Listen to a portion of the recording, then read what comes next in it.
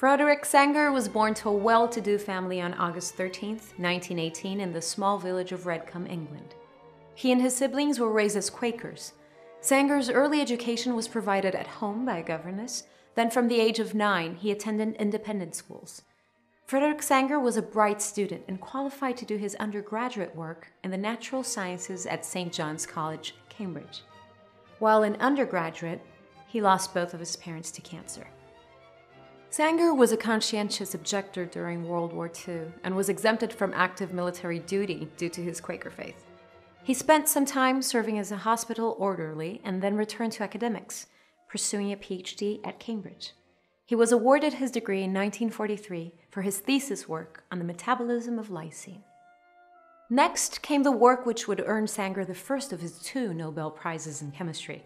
Sanger joined the lab of Albert Charles Chibnall, who had done some preliminary work on the amino acid composition of insulin. In those days, insulin was one of the few proteins readily available in a purified form, so it was a favorite subject for research by biochemists.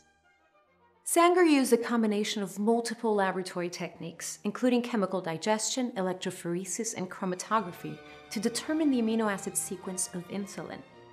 He also established that insulin was composed of two chains joined together by disulfide bonds. Before Sanger's work, it was not clear that proteins had a defined sequence. His groundbreaking discovery was recognized by the Nobel Committee in 1958. Molecular biology was now coming into its own as a field of study. James Watson and Francis Crick had published their paper on the structure of DNA in 1953. Sanger's work on protein sequencing prompted Francis Crick to formulate the sequence hypothesis. That is, that the sequence of nucleotides in the DNA determines the sequence of amino acids in the protein. Furthermore, the sequence of amino acids dictates the final shape the protein will fold into. It became clear that the sequence of the genetic materials RNA and DNA were essential to understanding this process. In 1962, Sanger became the head of the protein chemistry division of the Laboratory of Molecular Biology at Cambridge. In this lab, he tackled the problem of sequencing RNA with some variations of his methodology used to sequence protein. This proved quite a challenge, especially since RNA is so fragile. Another research group from Cornell won the race to successfully sequence a tRNA molecule, but by 1967, Sanger's group was the first to sequence a molecule of rRNA from a bacterial ribosome.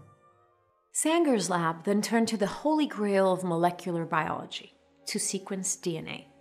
Sanger mimicked the replication of DNA using DNA polymerase and radioactively labeled nucleotides. Using this method, Sanger and his group sequenced the first complete genome in 1977, that of bacteriophage phiX174. Sanger went on to develop a more efficient technique for DNA sequencing, using modified DNA nucleotides, which terminated the DNA strand during synthesis, creating fragments of different lengths. We call this technique the Sanger method, and it is one of the DNA sequencing methods still commonly used today.